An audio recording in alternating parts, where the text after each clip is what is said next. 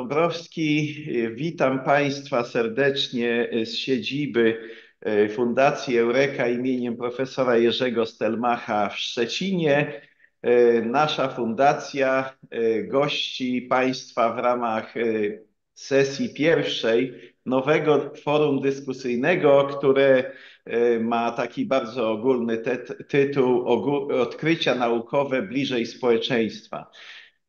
Ten projekt uzyskał dofinansowanie z Ministerstwa Edukacji i Nauki w ramach programu Społeczna Odpowiedzialność Nauki 2. I celem jest tego programu właśnie, ażeby przybliżyć te najbardziej spektakularne odkrycia naukowe, które są przedmiotem badań naszych polskich naukowców, Państwu, którzy po prostu chcecie czy możecie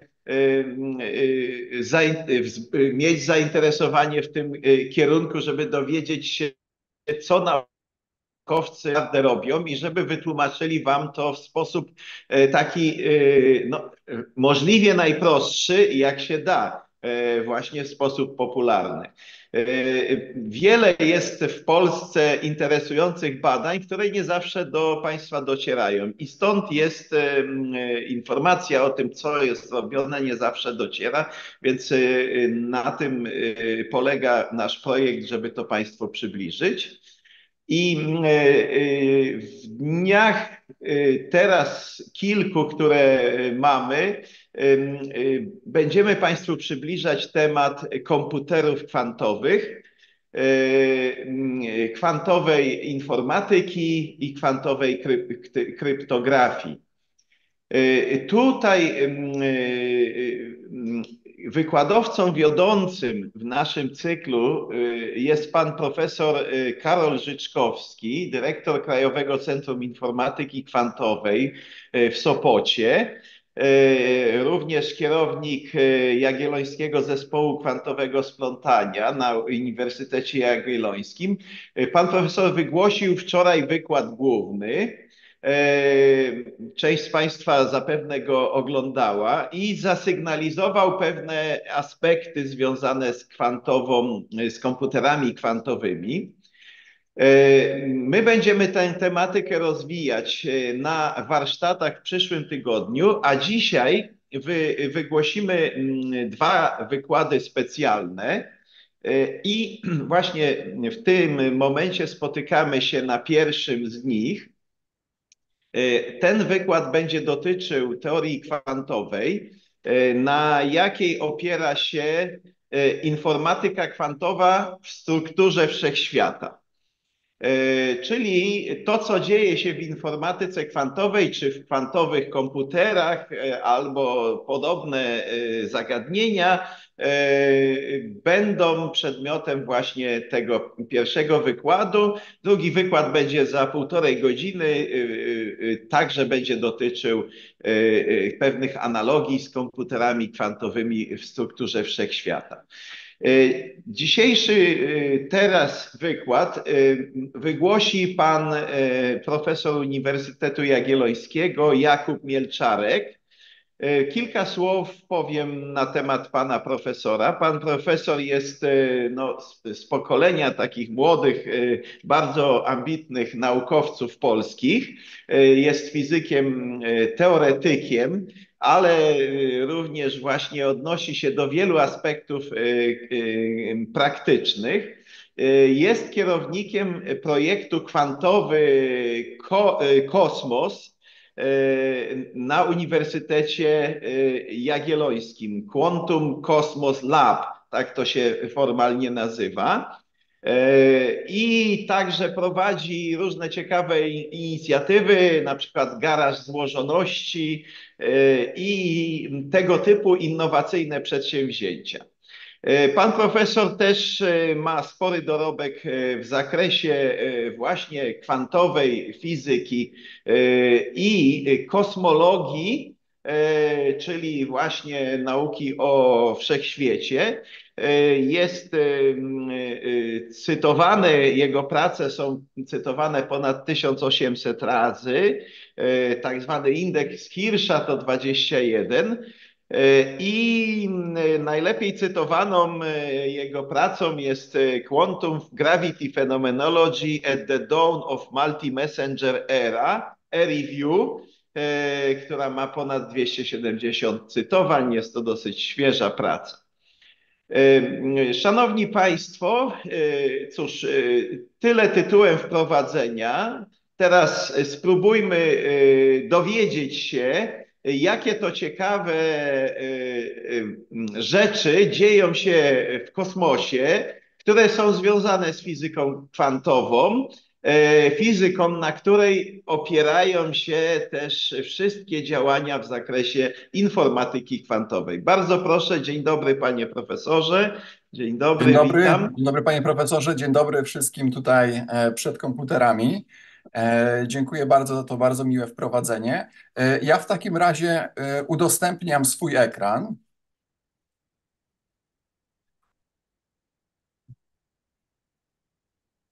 Czy Państwo tak? widzą moje slajdy? Wszystko widzimy, jest Super. bardzo dobrze. Zapraszam wobec tego do wykładu. Super, zacznijmy w takim razie. Pan profesor Dąbrowski poprosił mnie o to, żeby zarysować relacje pomiędzy kwantową informacją a grawitacją. To są zagadnienia, które są mi bardzo bliskie i tutaj w ramach tego wykładu postaram się zarówno przybliżyć takie ogólne koncepcje, które są związane z tą relacją, jak i też odnieść się do takich szczegółowych wyników badań, które tutaj prowadzimy w ramach wspomnianego już naszego zespołu Quantum Cosmos Lab na Uniwersytecie Jagiellońskim w Krakowie. Oczywiście temat jest szeroki, wielowątkowy. Ja tutaj z konieczności też muszę zaznaczyć, że no, ograniczę się tylko do pewnych wybranych aspektów, natomiast jest ich, jest ich zdecydowanie więcej. Natomiast wybrałem je zarówno jakby pod kątem takiej mm, transparentności i istotności w moim mniemaniu, jak również też właśnie pod kątem tego, czym sami zajmujemy się tutaj na Uniwersytecie Jagiellońskim w Krakowie w, w tym obszarze. A może zacznę troszkę tak nieoczekiwanie, mianowicie od prędkości światła.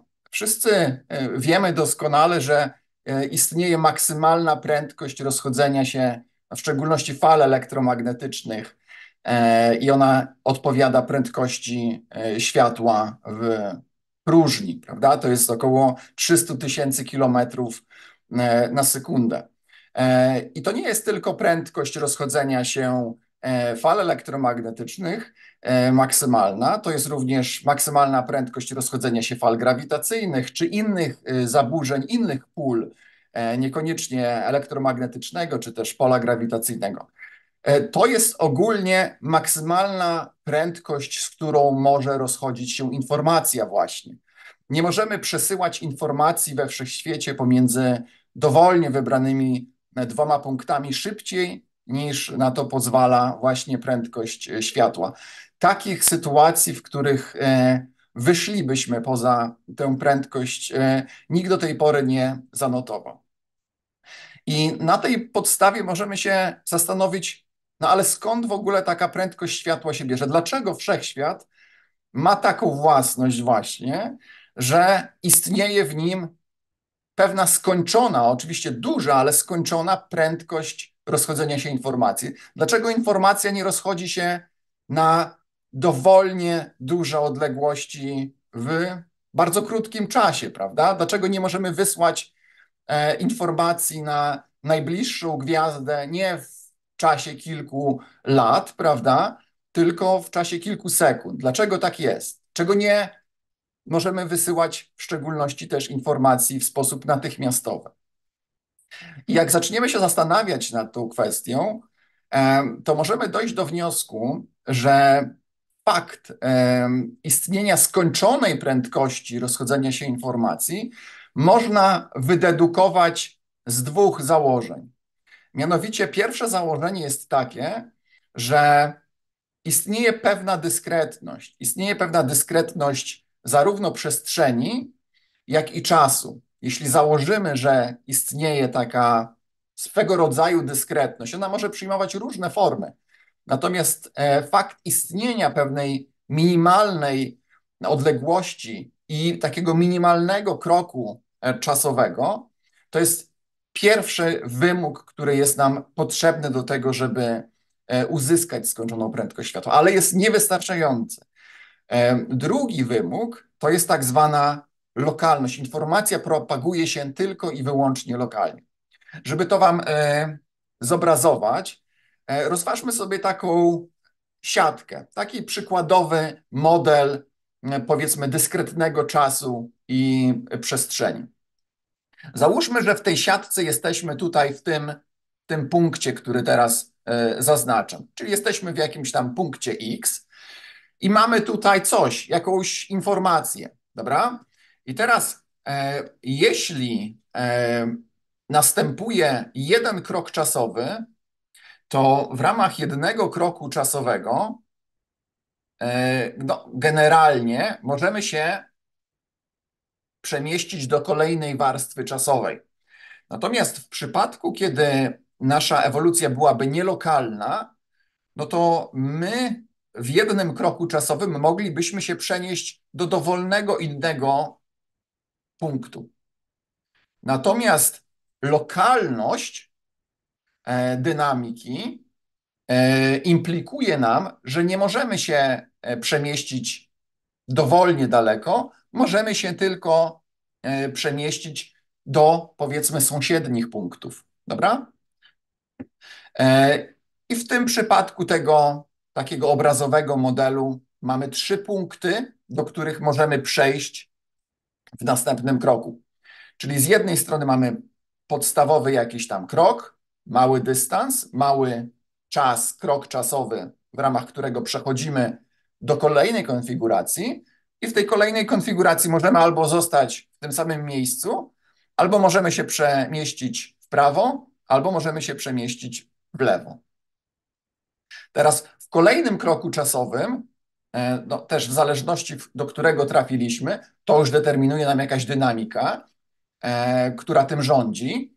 E, możemy znowu przejść tylko do kolejnej warstwy czasowej i do jednego z możliwych sąsiednich punktów. Tutaj tych kolejnych punktów sąsiednich mamy, mamy pięć. I tak dalej, i tak dalej. Widać, że to, co się formuje przy tym założeniu, to jest, są pewne granice obszaru, do którego jesteśmy w stanie dotrzeć. Nie jesteśmy w stanie dotrzeć po trzech krokach czasowych gdzieś daleko, tutaj wychodząc poza ekran. Jesteśmy w stanie dotrzeć tylko i wyłącznie do punktów, które zajmują, znajdują się tutaj w tym takim, e, w tym rogu, który odpowiada tak zwanemu stożkowi świetlnemu w takiej nomenklaturze relatywistycznej, fizyki relatywistycznej.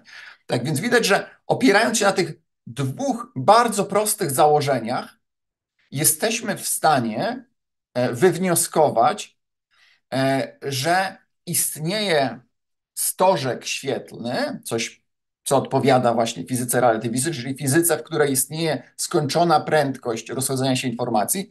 Istnieją granice tego stożka, granice z tego stożka odpowiadają właśnie poruszaniu się z prędkością światła, czyli maksymalnie jesteśmy w stanie poruszać się po granicy tego stoczka. Oczywiście tam mogą istnieć pewne jakieś fluktuacje w ogólności, ale uśredniając pojawi się nam pewna maksymalna prędkość rozchodzenia się e, informacji. E, I to wygląda troszkę od razu, e, obserwując to jak komputer. Mamy pewne cykle, kolejne kroki czasowe, i pewne piksele, które e, mają pewną dynamikę, która jest lokalna. To jest bardzo, bardzo tutaj e, istotne. Oczywiście można się zapytać, no tak, ale co to są te delta x, delta, delta t? Czemu odpowiadają te minimalne e, kroki czasowe i przestrzenne? O tym będę mówił więcej troszeczkę później, dojdziemy do tego. ale mogą one odpowiadać w szczególności takim minimalnym dystansom i krokom czasowym, które możemy sobie wyabstrahować w oparciu o nasze zrozumienie fizyki, o nasze najgłębsze zrozumienie dzisiejsze fizyki. I to są tak zwane długość Plancka i czas Plancka. To są niesłychanie małe e, długości i, i dystanse czasowe. Długość to jest około 10 do minus 35 metra, czas to jest 10 do minus 44 metra, niesłychanie małe wielkości. Natomiast co ciekawe, te dwie, e, powiedzmy, skale, czyli ta długość Plancka i czas Plancka, jeśli sobie podzielimy, biorąc szkolny wzór, że prędkość równa się długość przez czas, dobra?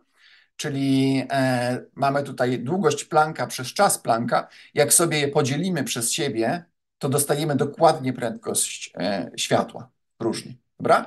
Czyli może się tak okazać, że ta prędkość światła, wielkość taka, można powiedzieć, już makroskopowa, bo my jesteśmy w stanie ją mierzyć, wynika z bardzo mikroskopowych, stałych przyrody, można powiedzieć, długości Plancka i czasu Plancka, które w odpowiedniej proporcji dają nam właśnie tą minimalną prędkość.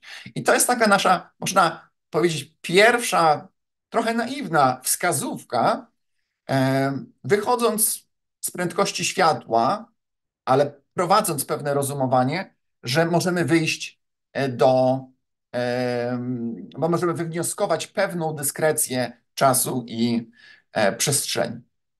Podam Wam teraz jeszcze e, jeden przykład, może bardziej troszkę abstrakcyjny, mianowicie entropię czarnych dziur. Entropia to jest taka enigmatyczna wielkość, która nam mierzy de facto brak informacji o czymś. My, jak uczymy się o entropii na studiach, czy też w szkole e, średniej, zazwyczaj mówimy o tym tak bardzo termodynamicznie, że jest to związane z pewnym transferem ciepła, ale tak naprawdę to informacja, e, to entropia mówi nam o braku informacji na temat czegoś, natomiast na, na przykład otoczenia jakiegoś układu fizycznego. I w połowie lat 70 jak, Jakob Bekenstein i, i Stephen e, e, Hawking pokazali, że czarne dziury, bardzo e, takie tajemnicze obiekty we wszechświecie, mają pewną entropię, która jest związana z tym, że one ukrywają informacje pod tak zwanym horyzontem zdarzeń. I ta entropia czarnych dziur, jak pokazali, jest proporcjonalna do powierzchni czarnej dziury, do powierzchni horyzontu tej czarnej dziury i jest podzielona właśnie przez długość Plancka do kwadratu.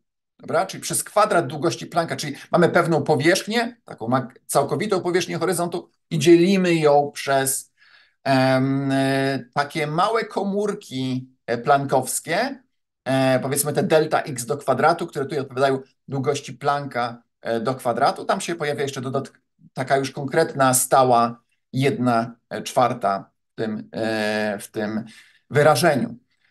I oczywiście pytanie jest takie, ale czemu to tak naprawdę mikroskopowo e, odpowiada?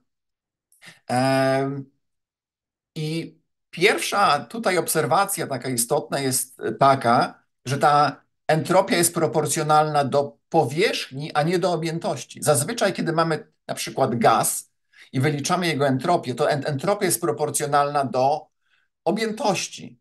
Natomiast w przypadku czarnych dziur widzimy, że ta entropia skaluje się w inny sposób. Właśnie skaluje się z, e, z powierzchnią.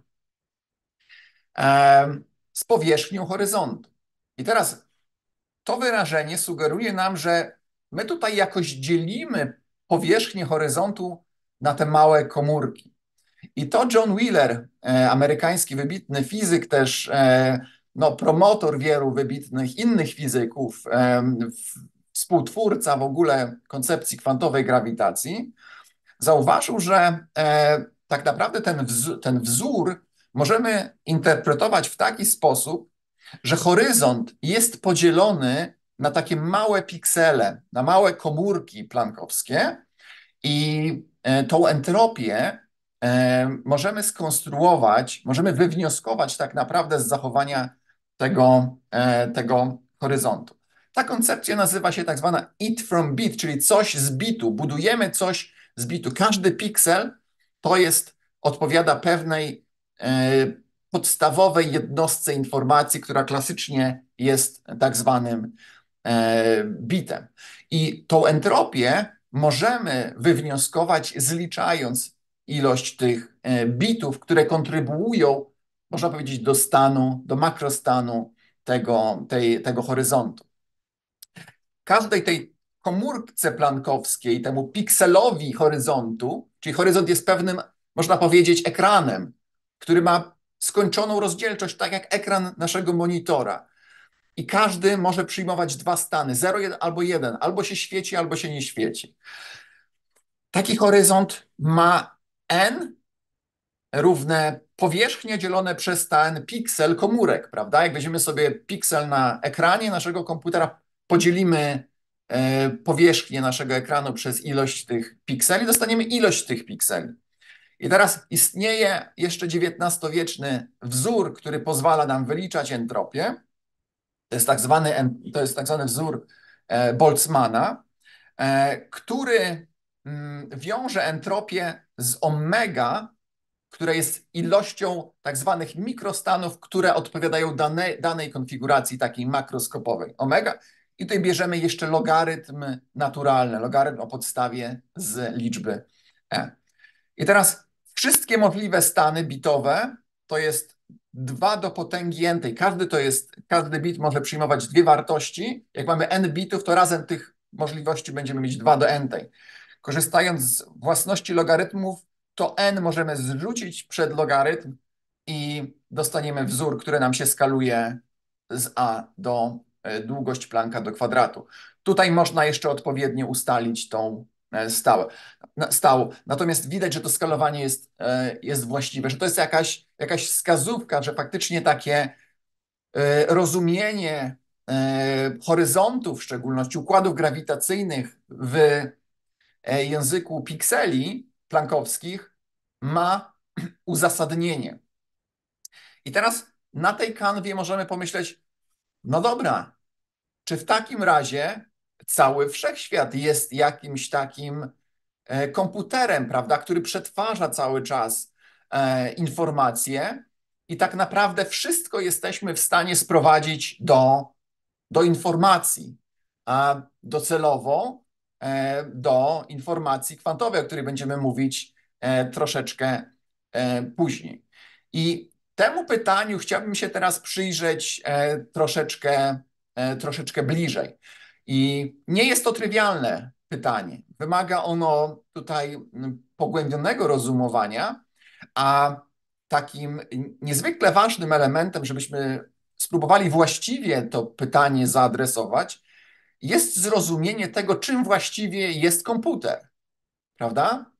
E, komputer rozumiemy jako pewną skrzynkę, do której wrzucamy jakąś informację, z klawiatury wpisujemy coś, czy klikając myszką i dostajemy coś e, w zamian, prawda? Komputer nam przetwarza, wykonuje jakiś e, algorytm, przetwarza tą informację i pewien ciąg binarny.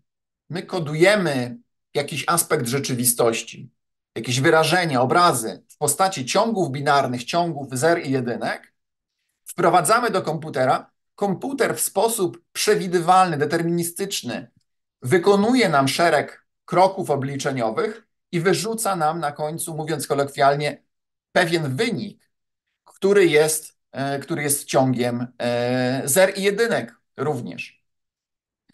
Natomiast komputer nie jest jakąś abstrakcyjną, matematyczną maszyną nie jest jakimś abstrakcyjnym tworem. Komputer jest układem fizycznym, jest częścią fizycznego świata, prawda? Jest to układ fizyczny zbudowany z atomów e, w odpowiednich konfiguracjach, które nam przetwarzają zera i jedynki, wprowadzone odpowiednio do, tego, do tej maszyny i na wyjściu dają nam też zera jedynki. Natomiast to jest układ fizyczny opisywany przez e, prawa fizyki. E, I teraz e, możemy zadać pytanie w takim razie, czy inne układy fizyczne są również e, komputerami w jakimś sensie, prawda? Czy na przykład to pióro jest, e, czy to pióro możemy nazwać komputerem, czy szklankę wody, e, którą tutaj e, widzicie Państwo na ekranie, czy kubek wody, możemy nazwać komputerem. I chciałbym teraz Państwu zaargumentować, że tak, możemy szklankę wody jak najbardziej nazwać komputerem pewnego szczególnego typu. Nie jest to do końca komputer, że tak powiem, programowalny. To znaczy, że my ten algorytm, e, który jest wykonywany przez ten komputer, możemy sobie dowolnie modyfikować, tak jak w przypadku takiego komputera, za pomocą którego tutaj z Państwem się dzisiaj łączę. Tu mogę sobie wgrywać różne programy, które sobie tutaj na przykład napiszę albo pozyskam i wgram. Natomiast w przypadku szklanki wody nie mam zbyt dużego e, tutaj wachlarza możliwości rekonfiguracji, można powiedzieć, tego algorytmu, bo to jest pewna ewolucja fizyczna. E, mamy, powiedzmy, szklankę, która jest e, w jakimś stanie początkowym. Jak popatrzymy sobie na tą szklankę, powiedzmy, przez mikroskop atomowy, to zobaczymy, że ona się składa z molekuł wody, prawda, H2O. I te molekuły nam określają jakiś stan tego e, układu. I stan wejściowy można określić przez na przykład to, gdzie dane molekuły, w jakiej objętości się znajdują. I to można zapisać w postaci zery jedynek. To jest pewien ciąg zery jedynek. Natomiast poprzez ewolucję fizyczną ten układ sobie ewoluuje, wykonuje pewien algorytm, który odpowiada ewolucji fizycznej i te molekuły w drugim czasie, który można powiedzieć stanem, które jest, odpowiadają stanowi wyjściowemu, znajdują się w, jakimś, e, w jakiejś innej konfiguracji. Te molekuły będą, można powiedzieć, odpowiadały innym jakimś, powiedzmy, nakreślonym komórkom w, w tej objętości. I to będzie jakiś inny stan. 0,1,0,1,0,0.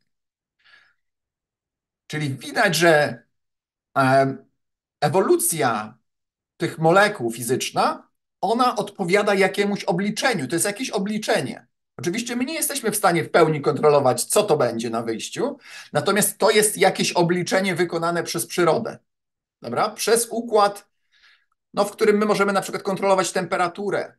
Podgrzewając tą wodę, te, te molekuły będą bardziej szaleć, będą się bardziej rekonfigurować. Jeśli będziemy mieć niższą temperaturę, to one będą wolniej się rekonfigurować. Dobra? Ale to jest jakieś obliczenie. Czy ono jest przydatne, czy nie, to jest inna kwestia, ale jest to pewne obliczenie. Szklanka wody wykonuje pewne obliczenie.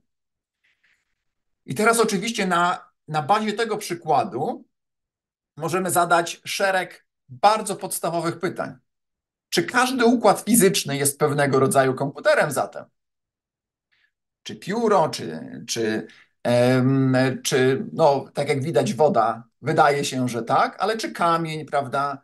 Czy każdy inny układ fizyczny, czy my w szczególności jako ludzie jesteśmy, e, jesteśmy komputerami po prostu.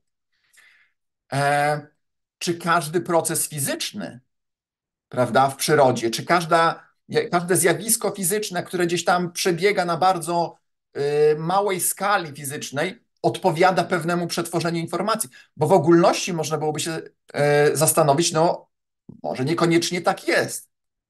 E, I niektórzy fizycy, matematycy e, no, rozważają takie możliwości, że część świata fizycznego nie odpowiada przetwarzaniu informacji, że jest czymś innym. Więc pytanie nie jest generalnie bezzasadne.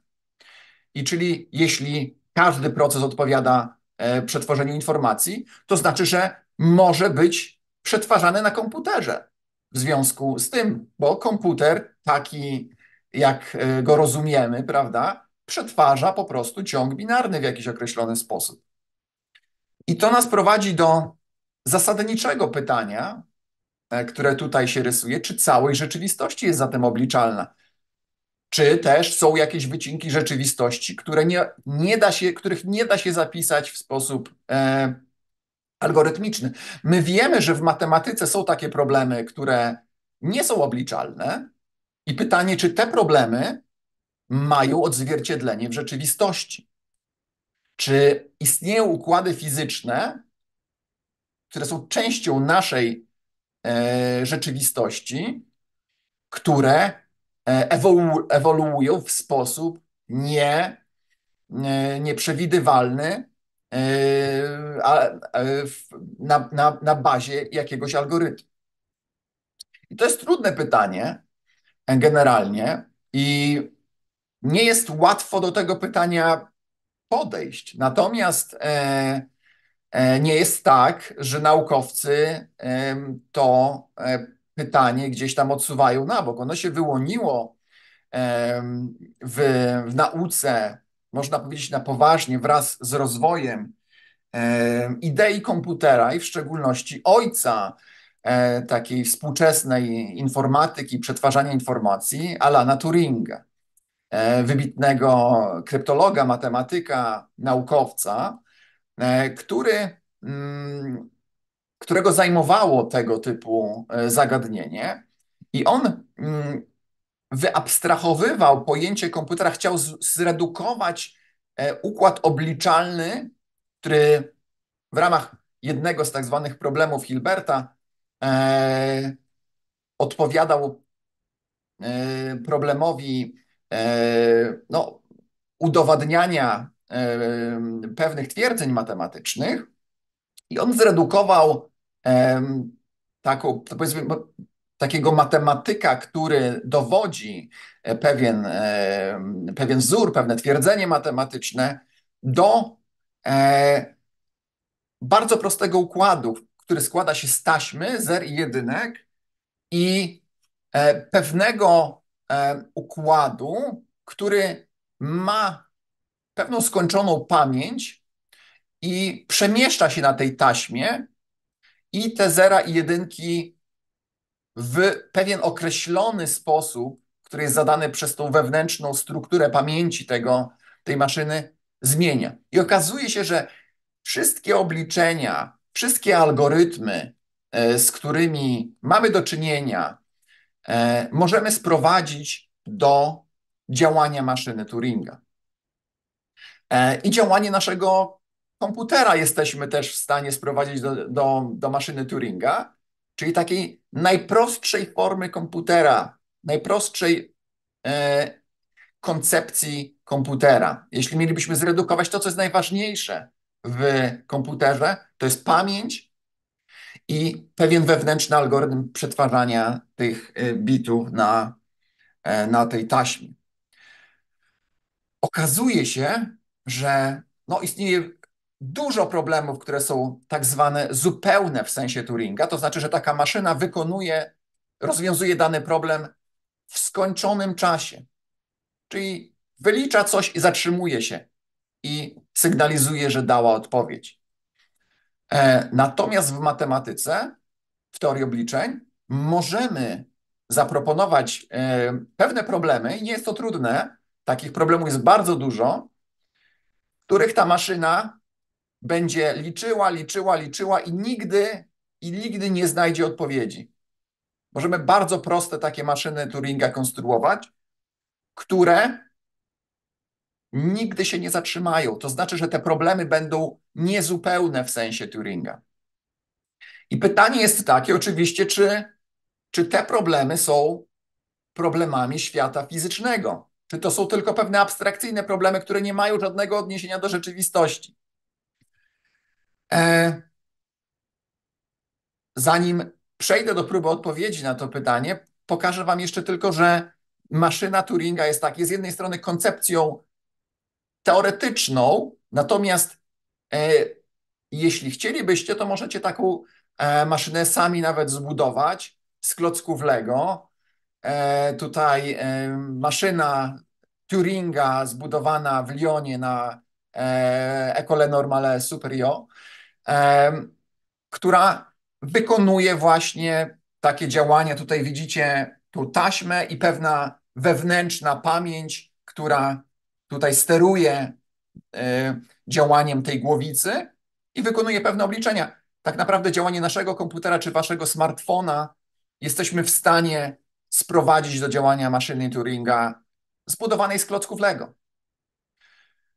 I działanie układów fizycznych, które znamy, które wiemy, że są, um, które można zapisać w postaci algorytmu, są algorytmiczne, można reprezentować za pomocą e, budowli skonstruowanej z klocków Lego. Ewolucję szklanki wody potrzebowaliśmy oczywiście bardzo e, wiele klocków Lego, e, ale teoretycznie jest to możliwe. Natomiast pytanie jest takie, czy każdy aspekt rzeczywistości jesteśmy w stanie zredukować do maszyny Turinga. O tym mówi hipoteza Churcha-Turinga. E, to jest hipoteza, ponieważ ona nie jest e, twierdzeniem.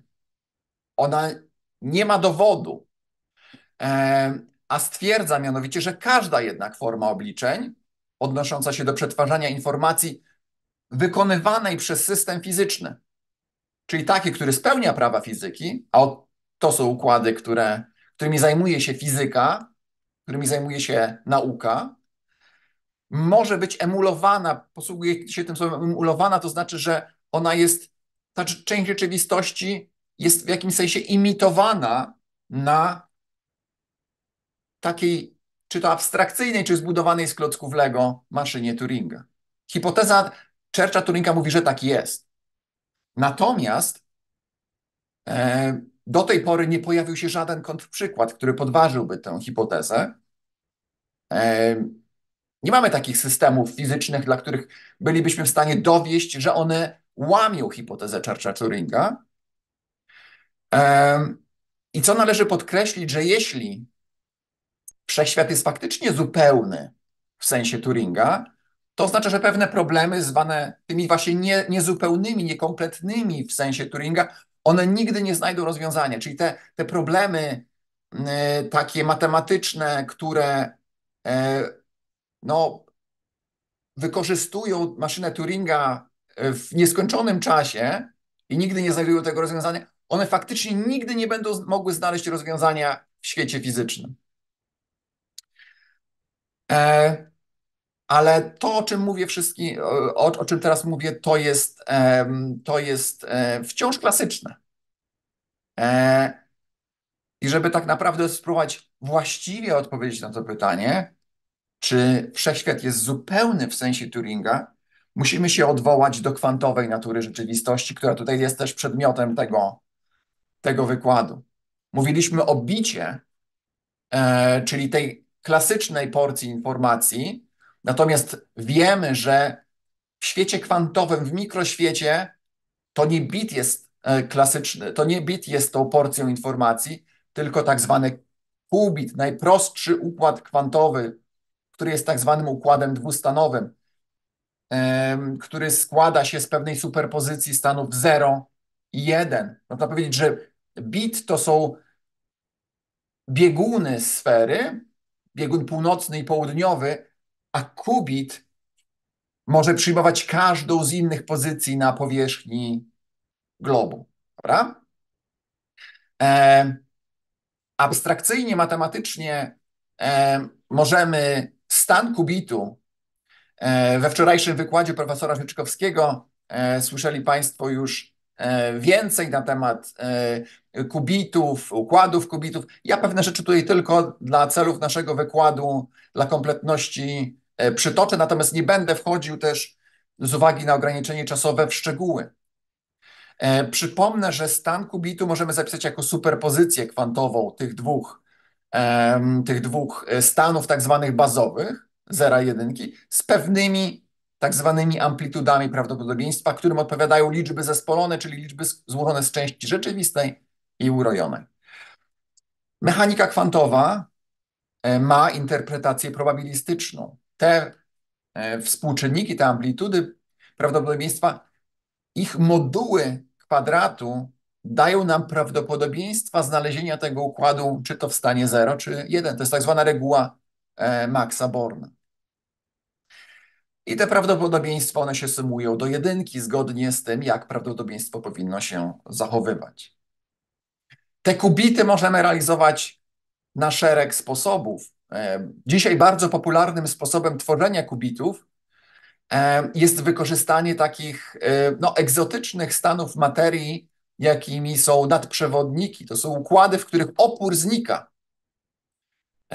Mając jakiś opornik, prawda, on jest scharakteryzowany przez pewien opór, niezerowy. Natomiast w przypadku nadprzewodników, które działają przy bardzo niskich temperaturach, na przykład niob, który staje się nadprzewodnikiem w temperaturze poniżej około 6 kelwinów, opór znika. Prąd rozchodzi się w sposób e, swobodny. Nie jest e, tłumiony przez, e, przez opór. I na przykład w takiej pętelce wykonanej z nadprzewodnika prąd może sobie swobodnie krążyć, bez oporu. Jak prąd krąży w, w pętelce, to wy, wytwarza pole magnetyczne. To pole magnetyczne okazuje się, że w przypadku nadprzewodnika jest skwantowane, występuje w pewnych porcjach. Strumień pola ma, przyjmuje pewne określone, skończone wartości. To jest to zaznaczone, to jest, mamy taką studnię i można powiedzieć, są takie szczebelki, e, które odpowiadają poziomom energetycznym. One są tutaj jak widać, równo odległe. E, natomiast kiedy wprowadzimy pewne dodatkowe modyfikacje, takie jak tak zwane złącza Josephsona, które zawierają e, również tutaj dielektryk, to okazuje się, że wtedy możemy wprowadzić pewną taką nieliniowość, która nam zaburza tą strukturę tych, tych drabinek, tej drabinki, tych schodków i wyróżniają nam się pewne dwa stany, podsta no, stan podstawowy i stan pierwszy wzbudzony, które właśnie tworzą nam ten kubit. Stan 0 i stan 1, one odpowiadają tym pierwszym wzbudzeniom tego pola magnetycznego albo w stronę w górę, albo w dół. I to, to jest nasz stan kubitu. I to potrafimy dzisiaj e, kontrolować i wykorzystywać tego typu układy fizyczne do realizacji kubitów. Natomiast tych realizacji fizycznych jest więcej. To mogą być również fotony. To jest bardzo popularne podejście. To jest kubit. Natomiast korzystając z kubitów można budować układy kubitów. Można budować tak zwane rejestry kwantowe, e, gdzie startujemy z pewnego wyjściowego stanu kubitów, wykonujemy pewien algorytm na tych kubitach, na układzie kubitów. To jest tak zwany obwód kwantowy, zbudowany z tak zwanych bramek, które są takimi podstawowymi operacjami wykonywanymi na bramkach, na tych kubitach. E, i ostatecznie wykonujemy pomiar. Na końcu ten układ musimy zredukować do pewnego konkretnego stanu. E, I tym, tym jest właśnie pomiar kwantowy. Bardzo sam w sobie ciekawy e, w ogóle temat, na który tutaj nie mam więcej czasu dzisiaj, żeby go pogłębić. Natomiast to, co jest zwracane na końcu, to jest pewien już taki klasyczny ciąg, ciąg binarny. Kiedy mamy układ kubitów, to to, co jest ważne, e, wprowadzamy oddziaływania pomiędzy kubitami, łączymy je, te, te, te kubity. Chciałem powiedzieć, już splata, splą, splatamy te kubity. Tym jest właśnie splątanie kwantowe, wprowadzenie pewnego oddziaływania pomiędzy kubitami i okazuje się, że to oddziaływanie pomiędzy tymi kubitami jest e, bardzo nieoczywiste. To jest taki prosty układ, prosty obwód kwantowy, przykład tego, co może siedzieć tutaj w tym, e, w tym obwodzie. Dwie bramki Pauliego X, bramka Hadamarda i bramka tak zwana Sinot. Kiedy zadziałamy na stan początkowy rejestru, e, gdzie dwa kubity będą w stanie 0, wykonamy ten prosty algorytm, dostaniemy tak zwany jeden ze stanów Bella. Ten stan ma bardzo ciekawą własność jeśli wykonamy pomiar na jednym kubicie, e, to to determinuje, że ten układ redukuje się już do pewnego tutaj tego stanu bazowego 0,1 albo 1,0, czyli jeśli na jednym zmierzymy 0, to na drugim na pewno będzie 1. Jeśli na tym pierwszym zmierzymy 1, to doda 0. To jest tak zwana nielokalność kwantowa, która mówi, że ten układ kubitów jest traktowany jako całość. Natomiast to, co jest istotne, to, to nie łamie tej nielokalności, o której mówiłem na początku tego wykładu. Informacja nie rozchodzi się szybciej niż prędkość światła. Kauzalność jest zachowana. Prędkość światła jest dalej maksymalną informacją, która, e, która tutaj obowiązuje. Tak więc ta mechanika kwantowa nie wyprowadza nas poza, poza te pierwotnie poczynione obserwacje. E, układy kwantowe teraz możemy się zastanowić, czy są łatwe do obliczania. I okazuje się, że nie są. E, żeby opisać układ kwantowy n kubitów, potrzebujemy wykonywać operacji na stanach, które zawierają 2 do n tej tych amplitud kwantowych. To rośnie w sposób wykładniczy, bardzo szybko. E, jak początkowa faza pandemii koronawirusa. Ok? Bardzo, bardzo szybko. I nie wygasza się. Rośnie dalej bardzo szybko. To znaczy, że my potrzebujemy, żeby symulować układy kwantowe, potrzebujemy bardzo dużych zasobów pamięci w szczególności. My dzisiaj jesteśmy w stanie efektywnie symulować układy kwantowe, które zawierają kilkadziesiąt kubitów. Nie, jesteśmy w stanie dojść do 100 kubitów. To znaczy, że obliczalność świata kwantowego jest możliwa na, na maszynach Turinga, ale jest niezwykle trudna.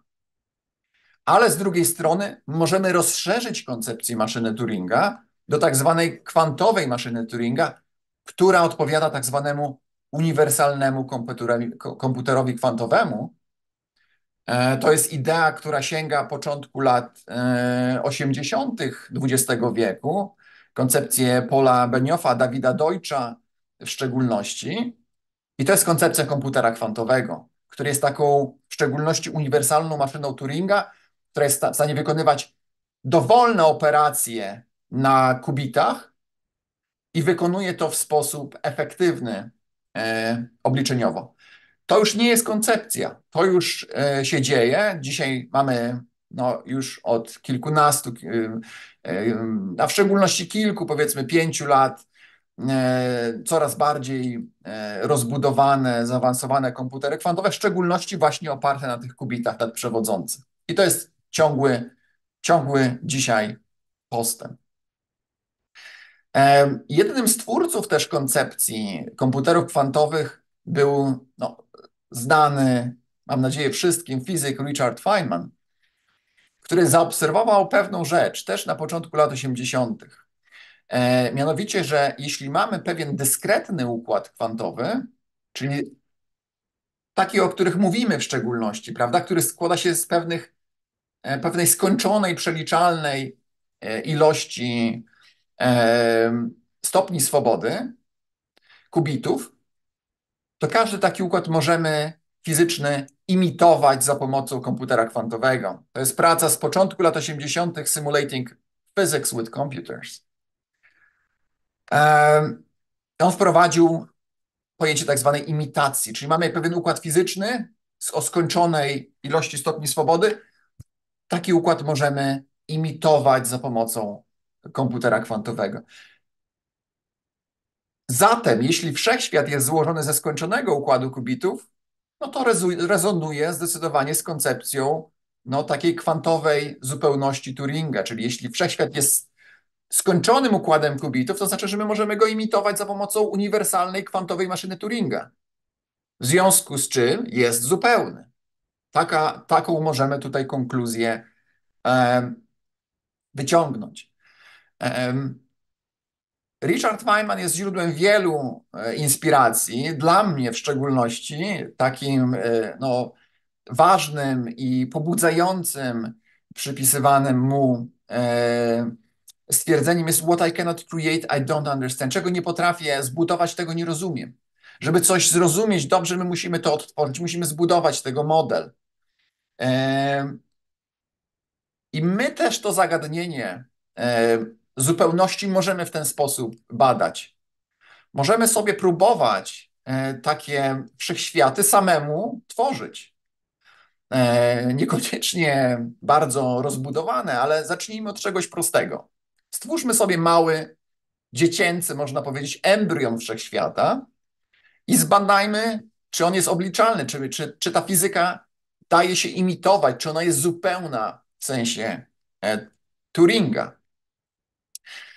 To jest w szczególności rzecz, czym, którą zajmujemy się aktualnie w moim zespole. Natomiast um, jest to temat, który um, zapoczątkowali wcześniej um, również fizycy tutaj na, na naszym uniwersytecie. E, no, niestety nieżyjący już profesor Jerzy Jurkiewicz, który w, we współpracy z Janem Ambiornym i Renatą Lol jeszcze w latach 90. zaczęli symulować małe wszechświaty. Dzisiaj koledzy tutaj też na, na uniwersytecie kontynuują to dziedzictwo. E, symulują e, małe wszechświaty, korzystając z pewnego szczególnego podejścia. Natomiast nie jest to imitacja. E, jest to wynik pewnych przybliżeń, więc to nie jest dokładna symulacja. Natomiast niemniej jednak pewne kwantowe symulacje takich układów grawitacyjnych są wykonywane i tutaj u nas na superkomputerach takie małe wszechświaty, e, ale klas na klasycznych maszynach Turinga są wykonywane. To ro rodzi wiele ciekawych konsekwencji, w szczególności zauważono, że taki wszechświat może występować w wiele, wielu fazach skupienia.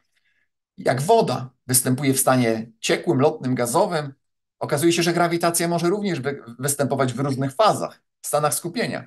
Rzecz bardzo nieoczywista. Natomiast symulując takie małe wszechświaty, zaczynamy takie rzeczy obserwować.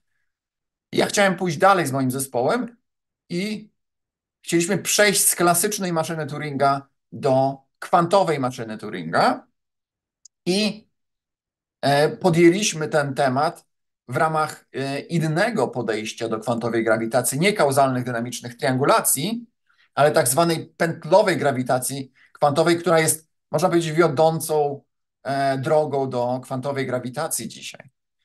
E, do fizyki na tej skali Plancka, na tej mikroskali, o której mówiłem wcześniej. Pętlowa grawitacja daje nam te podstawowe stopnie swobody, jak myślimy, dla, dla stanów czasoprzestrzeni, dla grawitacji. Nie jest to oczywiście jedyne podejście pomiędzy pętlową grawitacją kwantową a kauzalną dynamiczną triangulacją. Są związki. To mogą być inne tak naprawdę strony tego samego. Mamy również podejście, które bazuje na dualności grawitacji i splątania kwantowego. Nie będę miał czasu, żeby w to wejść, ale to jest też również bardzo ciekawe podejście, które wydaje się komplementarne do, do tego, o którym tutaj e, mówię. Natomiast pętlowa grawitacja kwantowa daje nam propozycję tych podstawowych stopni swobody, które możemy później imitować na komputerze kwantowym.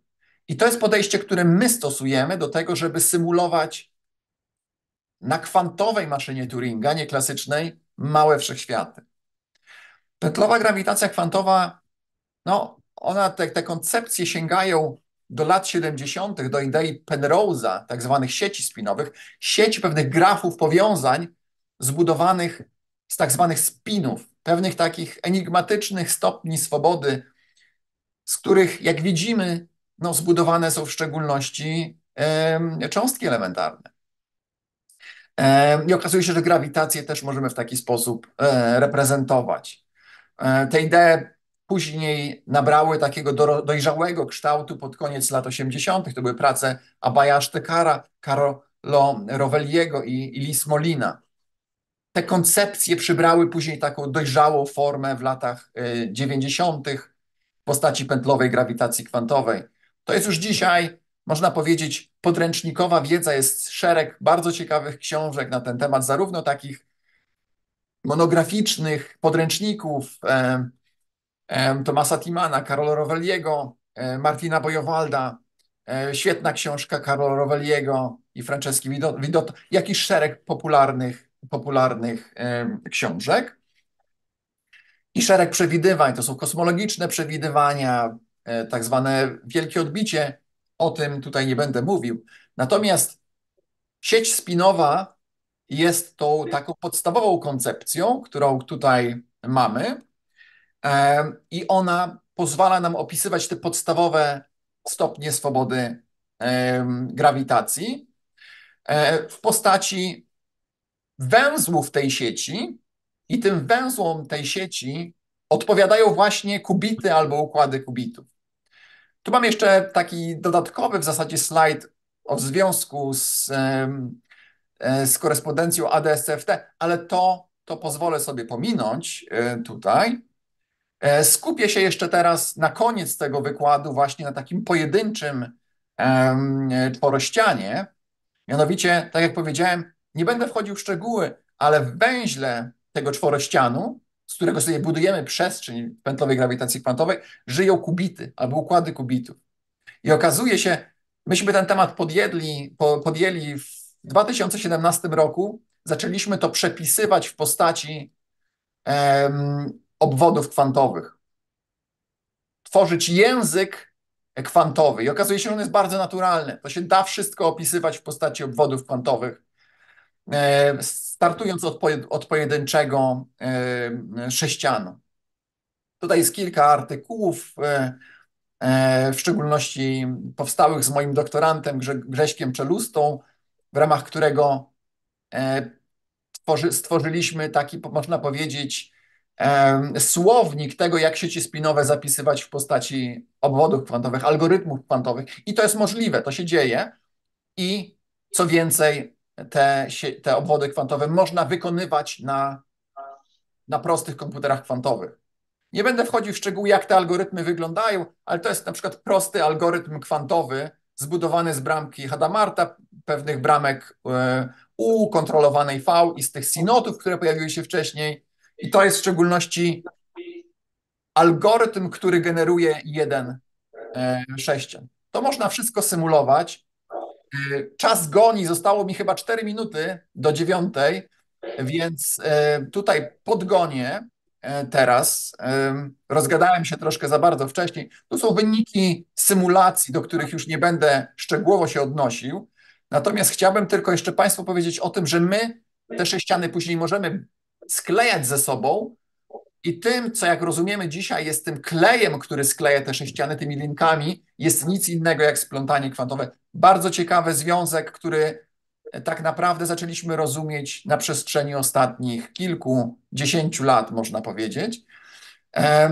I teraz, mając ten klej w postaci splątania kwantowego, możemy budować sobie małe wszechświaty.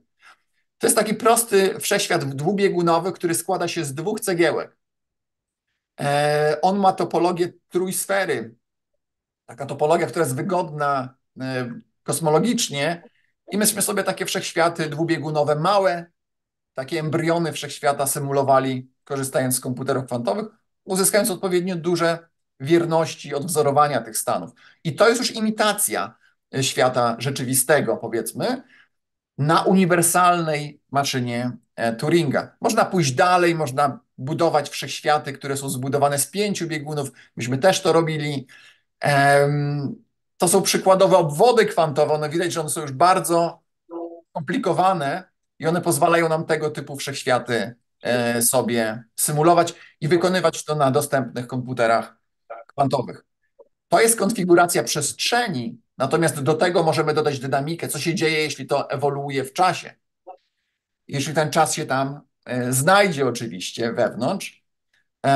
I to jest dynamika kwantowa, o czym nie będę też mówił tutaj w szczegółach, ponieważ to też wychodzi już poza zakres tego e, i tak już rozbudowanego wykładu. Natomiast też dodam, że e, tutaj udało nam się też poczynić postęp w tym zakresie. To jest w szczególności publikacja również z moim doktorantem Grzegorzem Czelustą, której rozwiązujemy tak zwane równanie Willera-DeWitta, podstawowe równanie, które mówi nam o tak naprawdę wewnętrznej dynamice wszechświata kwantowego za pomocą komputerów kwantowych.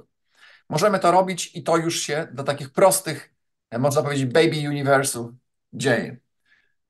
Podsumowując, e, informacja kwantowa wydaje się odgrywać kluczową rolę w tkance wszechświata. Wydaje się, że po prostu wszechświat jest zbudowany nie tylko z informacji, ale z informacji kwantowej. To jest rozszerzenie idei Willera eat from beat, Możemy mówić o it from qubit, ok? czyli że coś jest zbudowane z kubitu. Nie wiemy, czy nie ma nic ekstra jeszcze, czegoś dodatkowego poza to, bo głęboko tam jest jeszcze wiele skal, gdzie może coś się kryć innego, ale przynajmniej tak jak to dzisiaj rozumiemy, to kubity informacja odgrywają zasadniczą rolę w tkance wszechświata.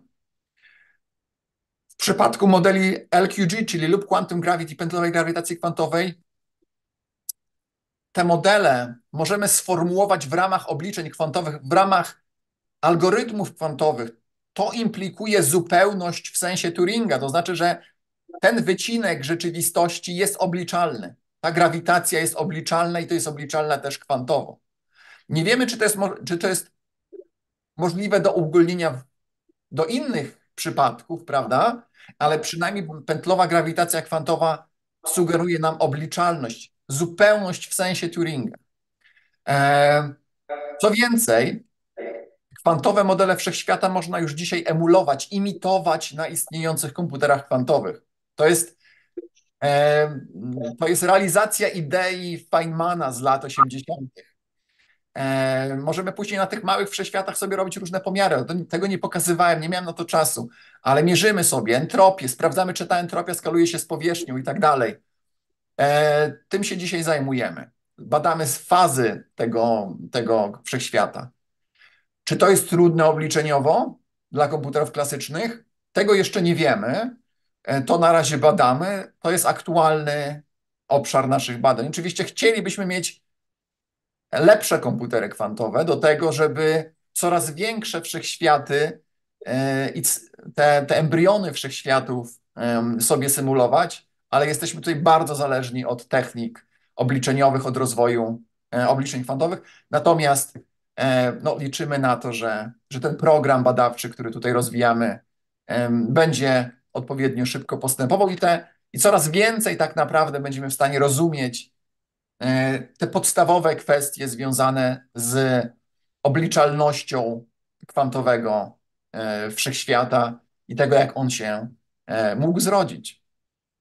Moi drodzy, bardzo dziękuję za uwagę. To jest wszystko, co przygotowałem na dzisiaj. Bardzo dziękuję za poświęcony czas. I jeśli są jakieś pytania, to oczywiście z chęcią spróbuję odpowiedzieć. E, dziękuję bardzo, panie profesorze, za ten e, znakomity wykład, a w szczególności za wprowadzenie naszych słuchaczy do naprawdę e, topowych, najbardziej zaawansowanych badań, jakie są prowadzone w naszym kraju, w Polsce, nad zagadnieniami, można powiedzieć, informatyki kwantowej w zastosowaniu do takiego no, ogromnego obiektu, jakim jest wszechświat i symulowanie tego za pomocą maszyn kwantowej maszyny Turinga nawet. Y, także bardzo serdecznie dziękuję. Patrzę, czy są pytania ze strony y, Państwa na Zoom albo na YouTube. Nie widzę pytań. Pewnie mm, to, co powiedział pan profesor, jest rzeczywiście bardzo szokujące. Też widzieliśmy tu sporo Y, takich formuł matematycznych, ale proszę się tymi formułami nie przejmować. Wydaje mi się, że y, przekaz słowny, jaki był tutaj zaprezentowany, y, odzwierciedla pewną, pewną taką bardziej popularną stronę tych, tych wszystkich działań. Ja bym chciał e, e, teraz, dziękuję Państwu też za podziękowania, bo i wczoraj i dzisiaj e, Państwo serdecznie dziękujecie w swoich komentarzach za te interesujące wykłady. Mam nadzieję, że one przetworzą się w jakąś większą interaktywność. E, przypominam, że e, tematykę będziemy e, opracowywać w sposób bardziej dyskusyjny na warsztatach, które odbędą się w przyszły piątek, 22 grudnia w godzinach 9-11.30. Dzisiaj jeszcze będziemy mieli wykład, który także będzie dotyczył aspektów kwantowego splątania dla e, naszego wszechświata. On odbędzie się za 25 e, minut, pół do 11.